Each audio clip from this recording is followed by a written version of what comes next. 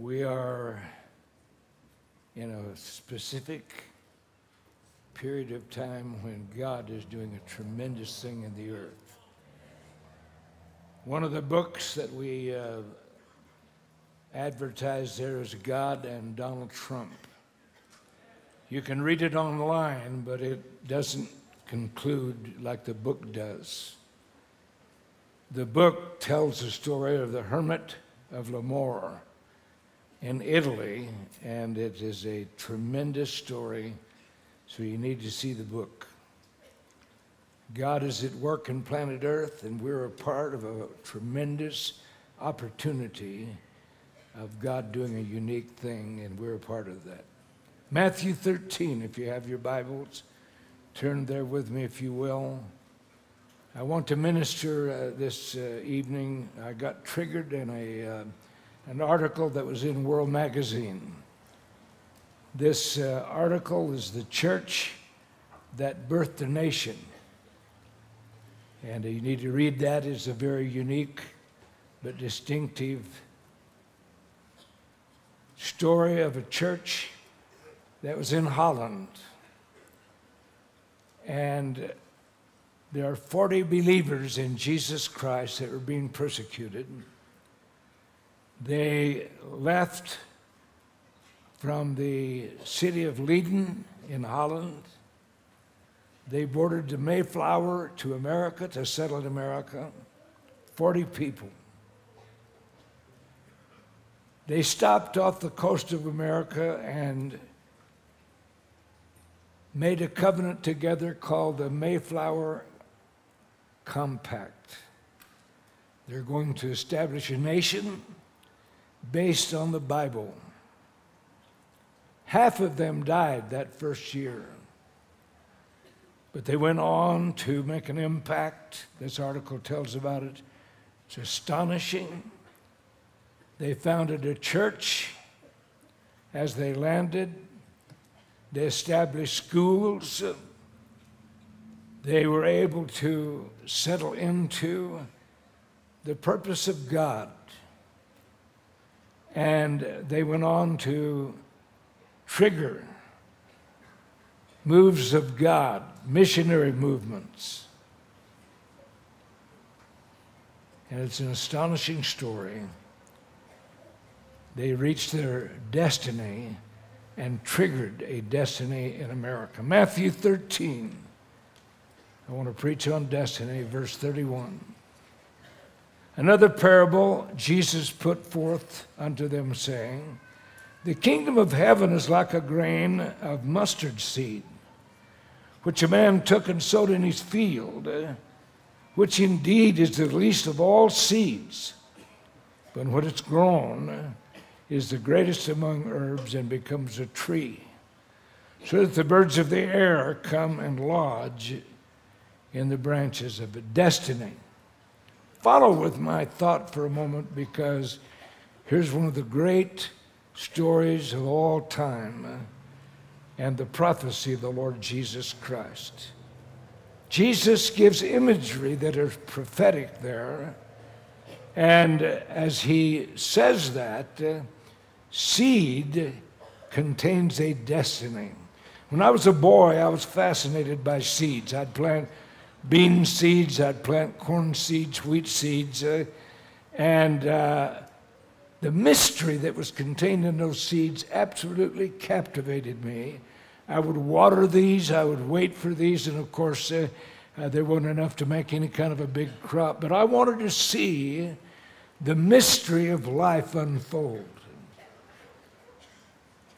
I was fascinated by that as a boy because the mystery of life uh, was contained uh, in those seeds, and this is what Jesus talks about. Of course, seeds uh, have to reach a point when they're germinate, germinated. It takes time, it takes sunshine, it takes water, but within that seed is a destiny that God has placed there that's one of the great mysteries of all time. Years ago, they uh, opened some of the pyramids in Egypt. And as they opened that, they took some wheat seeds out of that. Uh, that had lain there for 4,000 years. They planted those seeds, uh, and those seeds sprung forth. Uh, the mystery of that life was released, uh, and they bore fruit exactly like uh, the seed uh, life mystery that was there and that germinated. Jesus is talking now about the kingdom of God, and he's talking about destiny. He's talking about your life and mine. Think with me for a moment because uh, the kingdom of God encompasses destiny. And uh, when we talk about destiny, we're talking about a future that God has uh, purposed. Jesus said, uh, when this tiny seed is planted, uh, when it's grown, it becomes the greatest uh, of all seeds, uh, and even the birds of the air lodge uh, in the midst of that. Uh, and this lets us understand that we, uh, as a human being, we also have a life and a destiny, and that life and that said destiny is part of a larger picture of God. Let me give you a definition of destiny. Destiny is a purpose God has ordained in you and in your church as its future. It's linked to the present dimensions and issues, but it's far beyond your own sight and experience and understanding. This is the destiny that God has in you as a human being. Because God often speaks of you as a seed. This is a picture of something that is in your church. Something's at work uh, that's far greater uh, than you have understanding for because God's purpose is always uh, greater than you. 1970, my wife and I came to Prescott, Arizona. I was raised here, but as I grew up, I left, did time in the military, uh, uh, met my wife, married. Uh, but uh, the church in Prescott was uh, fallen on bad times, her- a terrible moral failure.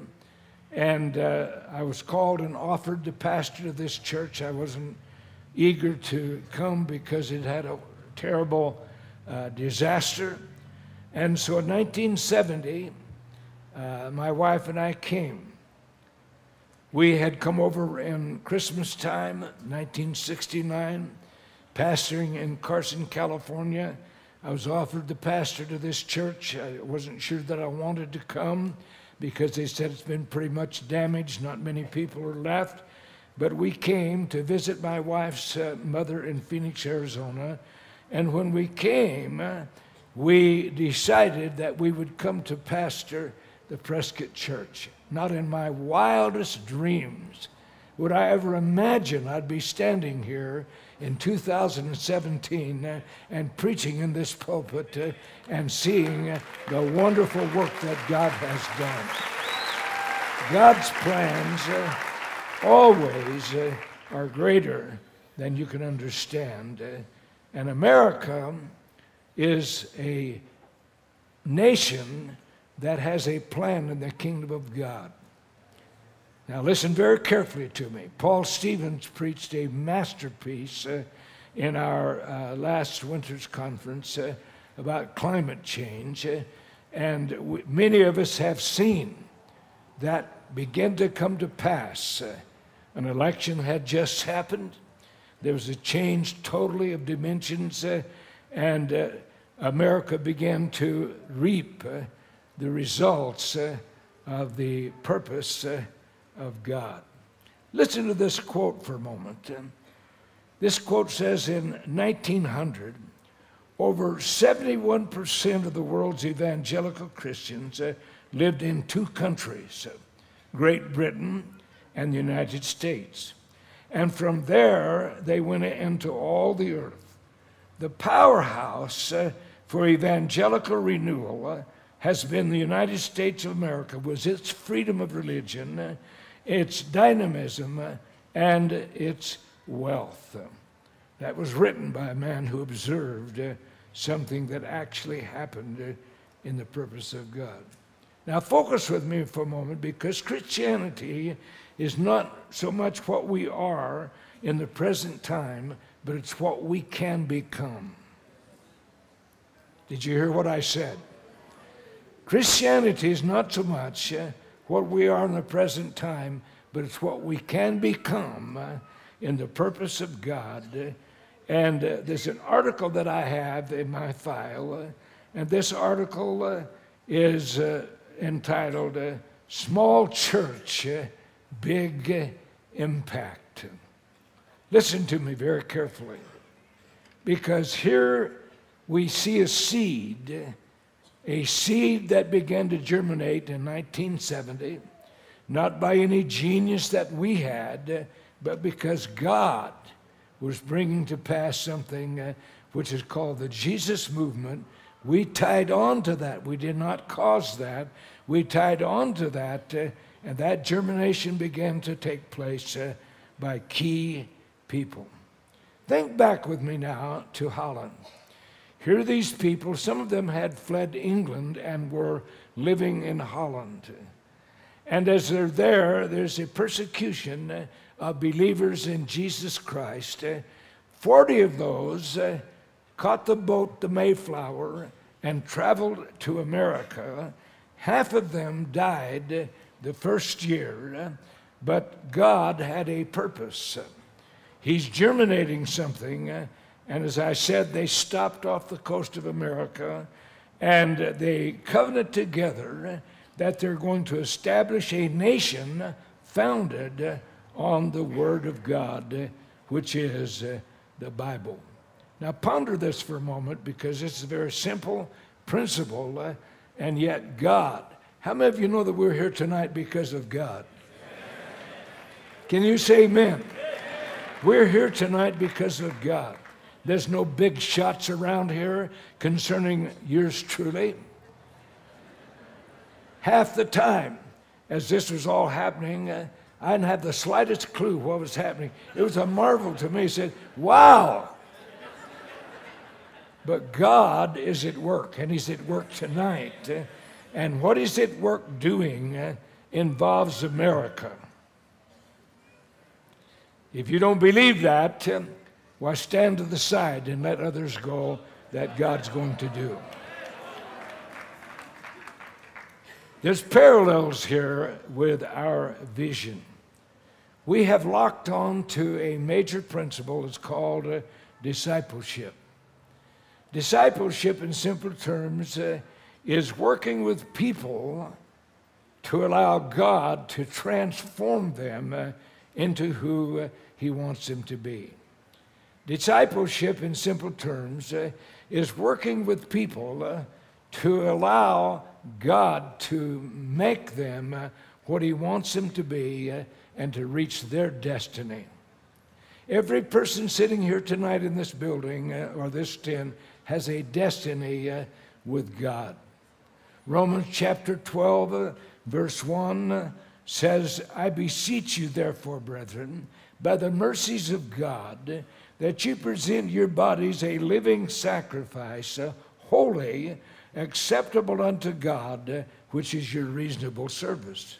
And be not conformed to this world, but be transformed uh, by the renewing of your mind, uh, that you may prove or you may demonstrate by experience what is that good and acceptable and perfect will of God. That's your destiny tonight God wants to bring that to pass. Evangelism is the dynamic uh, that works this. I mentioned the hippie movement, the Jesus People movement, we call the hippie movement, took place. It began probably in 1963 or 62, began to come to full uh, course 1967. When we came here in 1970, it already was beginning to wane somewhat, but that's a Jesus People movement. Uh, and uh, we sent out uh, an impact team. We sent an impact team to Phoenix, Arizona. We sent it into Encanto Park. And that evening, we went into a church and a hundred visitors came from the streets into that church, which was my home church that I was saved in.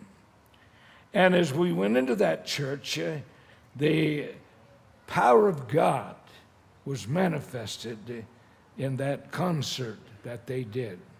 There were 75 people from our church that went down to do that. That was our first impact team. Uh, we began to call them guerrilla teams. Uh, I had a niece that was a member of that church. When these hundred people began to come in from the street, one of them had a white uh, uh, robe on, like Jesus. Uh, another one had a, a, Levi jacket with a big uh, bolt action wired to it. Uh, there are all kinds of people from the street. Uh, my niece said, Wayman, I sure hope you know what you're doing. well, I didn't. I had the slightest clue. but God did.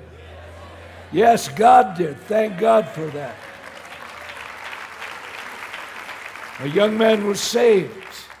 As a result of that, became the youth leader of that church. Uh, and we saw people saved. Uh, but something happened in that impact team. Uh, that was the first one we sent. And we were thrilled we saw the results because there's an addictive element to that. In 1 Corinthians chapter 16 and verse 15, I beseech you, brethren, uh, you know the house of Stephanas, uh, that is the first fruits of Achaia, that they have addicted themselves uh, to the ministry of the saints. New King James says uh, devoted.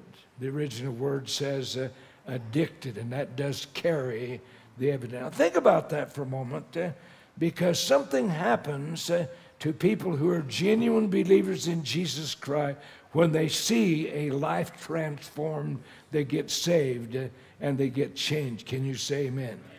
Something happens that is uh, supernatural. What happens is uh, something happens to their brain that Paul relates about uh, in 1 Corinthians chapter uh, 16. I don't know if you've ever uh, read books about the brain, but the brain has synapses, uh, and uh, dopamine is able to be triggered in a pleasure principle. and if something happens when a genuine believer sees somebody saved and changed, it's addictive. Hallelujah. Can you say amen? It's addictive. So let's think about this for a moment uh, because there's a Holy Ghost rush that happens uh, when you're a genuine believer in Jesus Christ uh, and you see somebody experience uh, God's salvation. Uh, it is a spiritual experience to see uh, someone saved. As a result of that, of course, we got into church planting. Many people, and especially young people, they're interested how we got started doing all the things that we do. We evolved.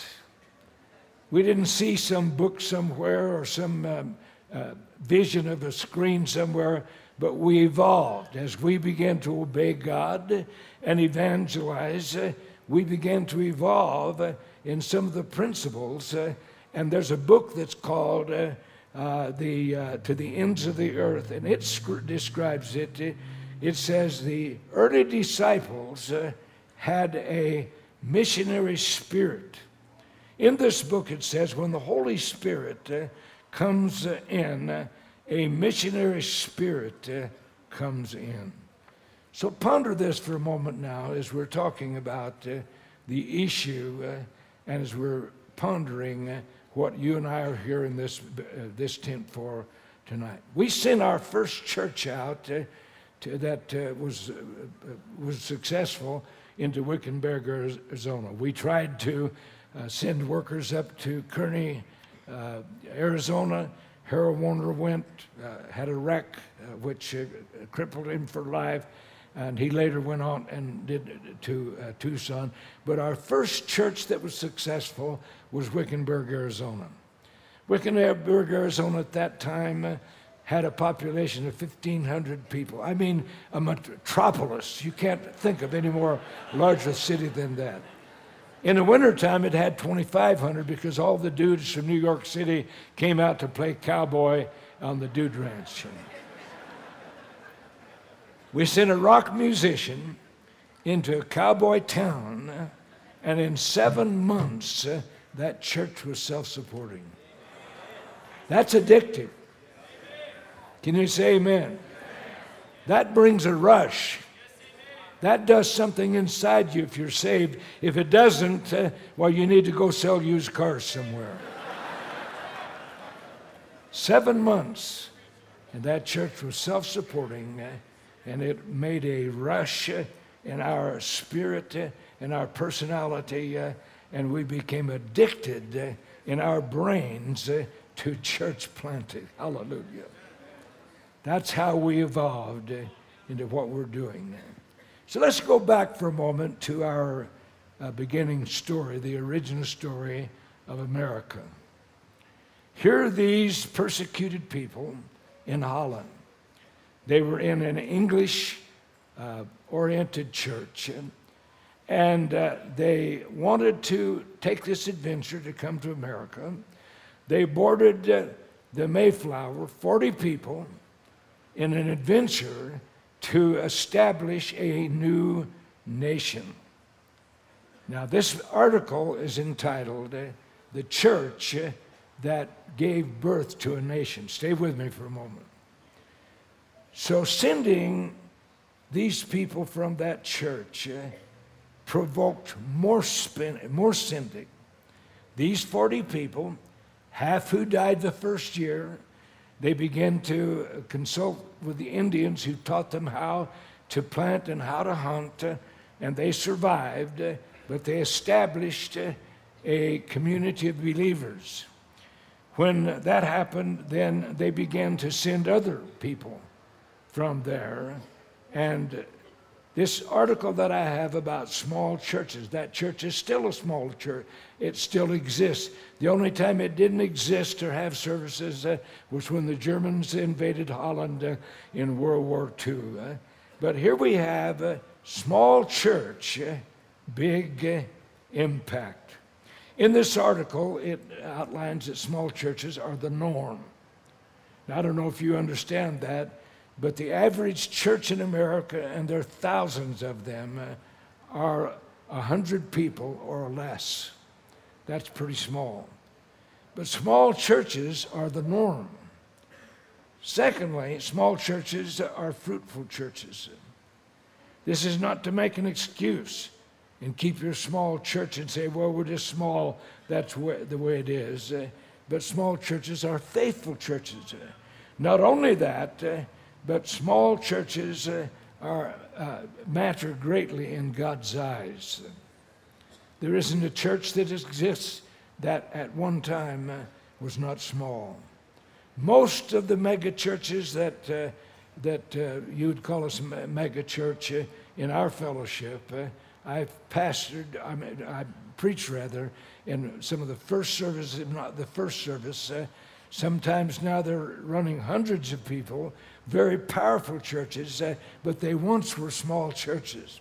Now, stay with me for a moment. This is not to make an excuse, uh, but this is Bible, uh, and the Bible says, "Despise not the day uh, of small things." this is in the Scripture. So the average church uh, in America is 100 people or less. Uh, and let's look now at this story because the church that birthed the nation uh, is a powerful, powerful statement, uh, and it's very interesting uh, because from that seed of those 40 people, they begin to multiply. Others begin to be sent because their sending provoked other people to come. And the parallel is here is something that you need to see. When my wife and I came to Prescott, Arizona in 1970, I think our first service was January the 11th, 1970, we had a massive first service of 29 people. Seven of those were my family. now think about that for a moment, because at the, pres- at the present time, we have 2,432 churches and around the world.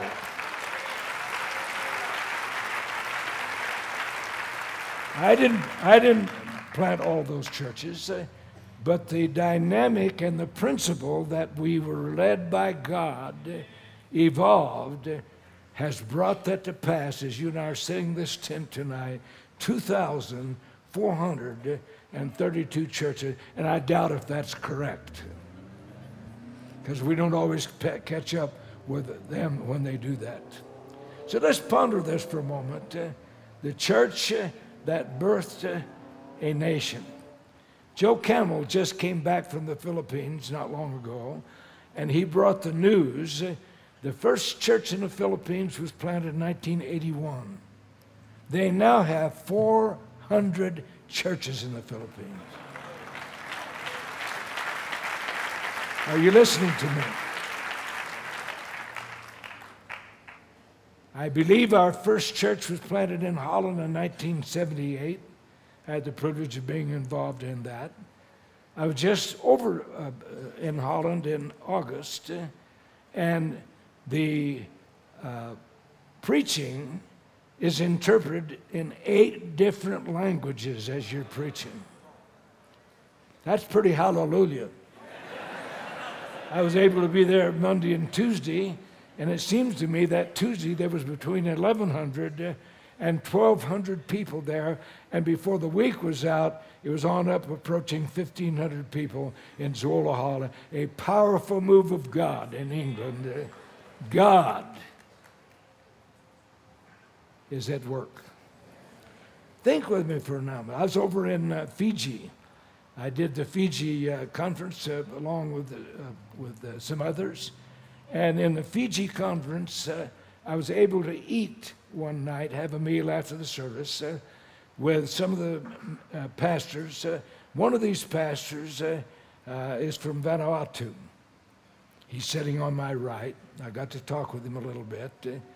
he pastors a church on an island that only has 300 people on the whole island. 60 of them are in his church. Can you say amen? Thank God. So, what about you this week? We're in a wonderful, wonderful Bible conference. And in this Bible conference, there is potential beyond imagination. Despise not the day of small things. Eh? Small church isn't an excuse for doing nothing, eh? but you need to be encouraged eh? because what you're involved in is always larger than you. How many thank God that God's at work?